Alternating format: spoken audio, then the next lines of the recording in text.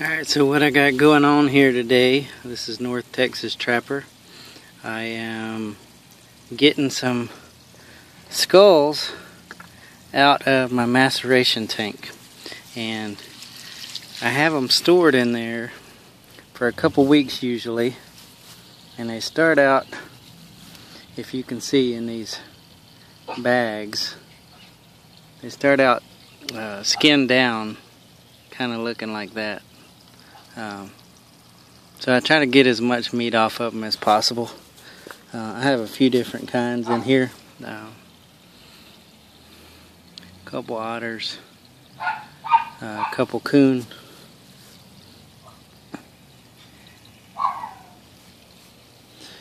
Uh, there's an otter. It's a little bit more flat. Anyhow, uh, what I do is I, I take this flat thing, kind of like uh, a basin for a flower pot, you know, to catch the water. And I put it in here because these things, when they come out of here, they got extra little pieces of uh, cartilage left over and flesh or whatnot. And what I want to do is I want to rinse off the skull, but yet I do not want to rinse my teeth that are going to fall out of that skull, out of the front part of it. I don't want to rinse them into the grass. So I want to kind of rinse all that stuff out of here. And then it'll float out the end of this open bag and into the basin and that way I can see if there's any teeth down there I'll just go ahead and capture them and uh, so anyway this one is done. I'll set it up and out of the way. And we'll get another one. Um, so this is where the nastiness occurs and not a whole lot of people are excited about doing some of this stuff. I'm going to guarantee you that. So I got a little kids rake and uh, don't worry, I don't let them use this. But I kind of just get all the the main stuff floated out of there and then I move it over. Take a second and I, I rinse off some of the heavier stuff in the grass so I can see what's going on with the skull. And uh, just get a close look at it. You want to see if it's to the level that you think it's time for it to come out. You notice these teeth got a little bit of black on it. And that black stuff is just uh, it just starts a little decay on there, that's going to come off when you get it in your degreasing tank. So anyhow, the most of it's up right there. I'm going to move it on over to this side. Normally I operate with gloves, but I ran out of the little gloves that I normally use, so just going to see if I can float out some of this stuff out of these plastic bags. Uh, if you'll notice the jaw the lower jaw on this one has separated. And but this this remainder this little stuff that you see in the bag floating around that'll float right on out the end. And you just don't want to get rid of all your teeth. Some of these these teeth are pretty small. So I'm just gonna pause one second and we'll be right back and grab another one Alright, I'm looking in the bottom of my little basin here and I don't have any teeth and that's a good thing. We didn't float any away.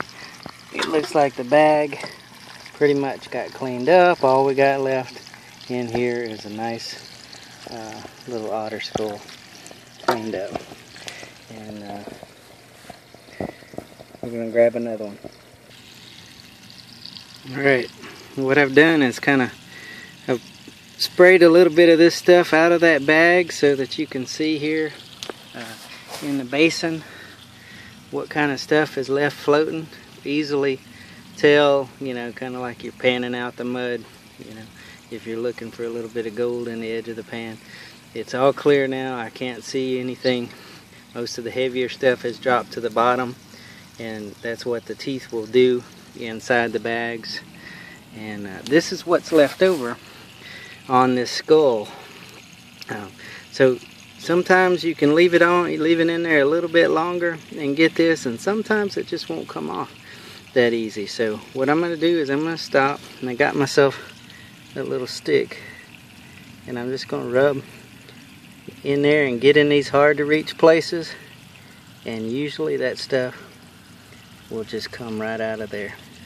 And uh, whatever's left over, if it's a tiny little bit of stuff, when you degrease it, uh, when we put it underneath the heat 95 degrees or so in the degreaser for about a week or more um, then that stuff should come out after that. We'll work it get it all clean.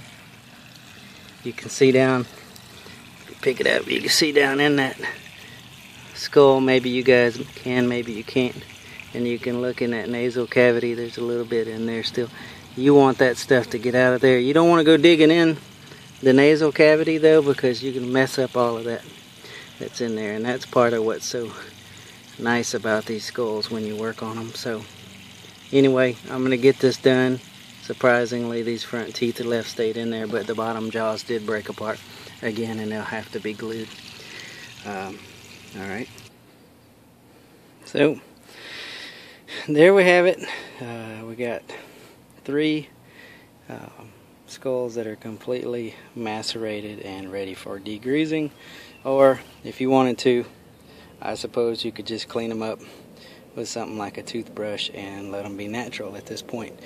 Uh, to each their own. I like them to have that bright white color and to be very very clean when it comes down because I like to show a whole bunch of kids and stuff these skulls and, and give them away to other people when I trap on their property. I might give them a give them a skull or give them a fur um, as a little present, as a thank you, and so they can show it off to their friends if they want to. Okay, well, if you like what you're seeing, just keep checking out my channel. I'll try to periodically be updating some stuff. North Texas Trapper on YouTube, and uh, get a hold of me on Facebook. I'm Trapper Marty if you look it up.